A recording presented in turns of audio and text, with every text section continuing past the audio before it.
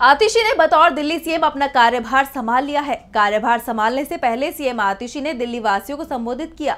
इस दौरान उन्होंने बीजेपी पर जमकर निशाना साधा। वहीं सीएम की कुर्सी पर केजरीवाल की वापसी को लेकर भी बड़ा दावा किया।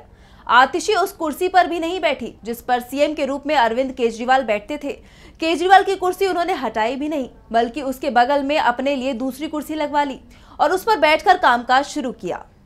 मैंने दिल्ली के मुख्यमंत्री का कार्यभार संभाला है, ज़िम्मेदारी संभाली है।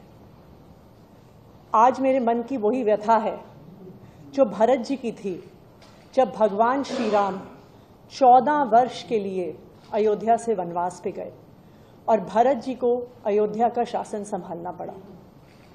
जिस तरह भरत जी ने चौदह साल तक भगवान श्री राम की खड़ाऊ रखकर अयोध्या का शासन संभाला उसी तरह से आने वाले चार महीने के लिए मैं दिल्ली सरकार चलाऊँगी।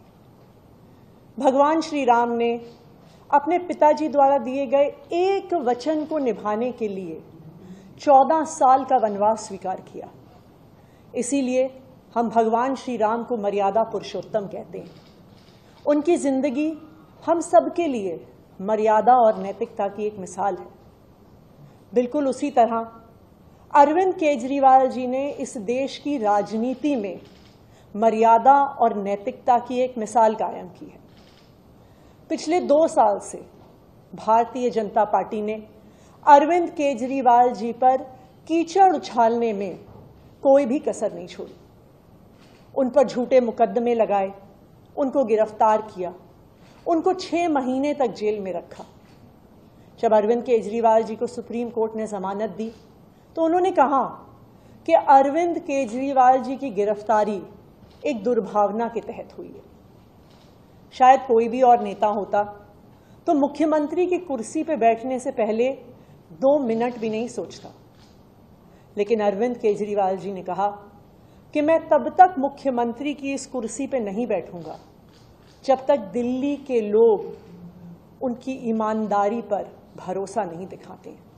और उन्होंने मुख्यमंत्री पद से इस्तीफा दे दिया लेकिन दिल्ली के मुख्यमंत्री की कुर्सी, ये कुर्सी अरविंद केजरीवाल जी की है।